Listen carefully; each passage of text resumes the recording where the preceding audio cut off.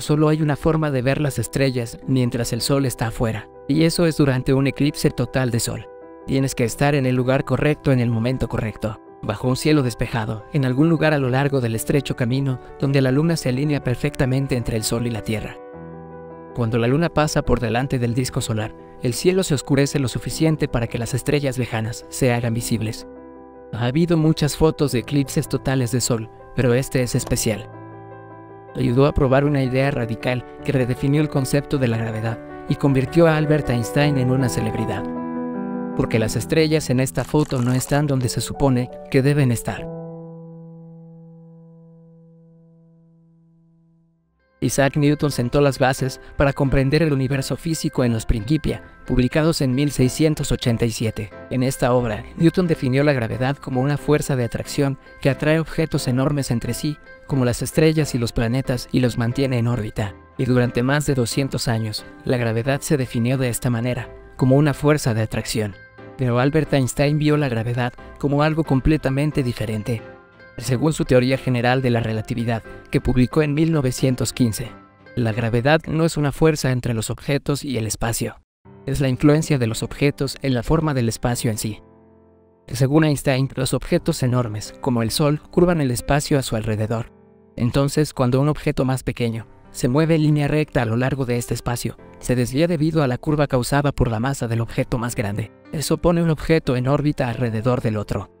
Y si Einstein tenía razón, entonces esta misma curva también desviaría la trayectoria de la luz. Es decir, si observas las estrellas distantes a través de un telescopio en la Tierra, cuando el Sol está frente a ellas, su luz desviada por la gravedad del Sol las haría parecer como si estuvieran un poco desplazadas del lugar. Fue una idea revolucionaria, pero hubo un gran conflicto que impidió que Einstein pusiera su teoría a prueba.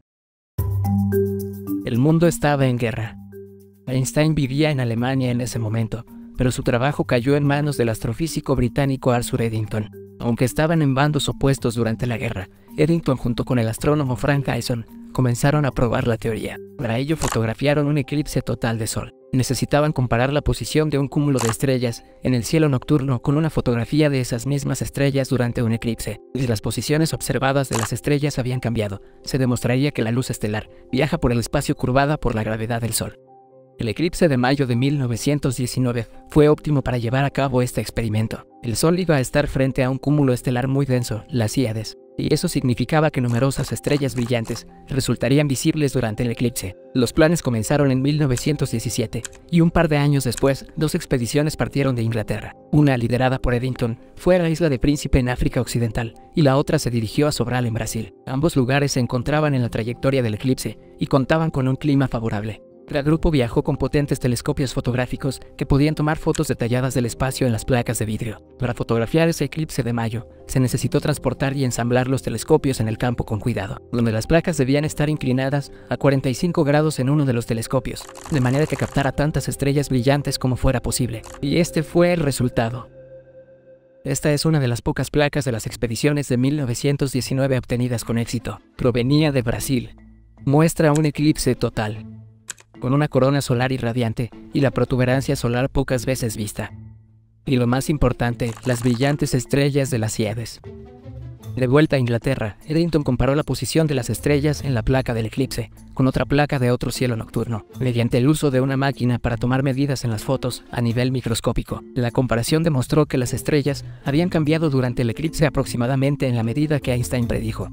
Según los cálculos de Newton, la luz estelar debería curvarse cerca del Sol, pero si Einstein estaba en lo cierto, esta desviación sería el doble de lo que Newton predijo. Los resultados de Eddington demostraron que la desviación de la luz estelar se acercaba más al cálculo de Einstein que al de Newton. No era una coincidencia exacta, pero era lo suficientemente aproximada como para validar la teoría general de la relatividad y cambiar por completo nuestra percepción del universo. El éxito del estudio se anunció por primera vez en The Times of London, el 7 de noviembre de 1919, casi un año después del final de la Primera Guerra Mundial. Un inglés había hecho todo lo posible para demostrar las ideas de un alemán, y la noticia de que el espacio está deformado por los planetas y las estrellas conmovió al mundo. Einstein, que hasta ese momento solo era conocido en el mundo de la física, se convirtió en una celebridad de la noche a la mañana. Permaneció como un icono de la cultura popular internacional durante el resto de su vida, y el objetivo preferido de los fotógrafos de prensa. La observación de los eclipses continuó siendo una manera de probar la relatividad general en las décadas posteriores, con equipos más sofisticados que confirmaban una y otra vez la precisión de la teoría de Einstein. La relatividad general permitió a los físicos comenzar a comprender conceptos más avanzados sobre el universo, como los agujeros negros, lo que finalmente llevó a esto, la primera fotografía de un agujero negro tomada en 2019, un siglo después de que Eddington demostrara por primera vez la teoría de Einstein con una foto, y que cambió por completo nuestra definición de la gravedad.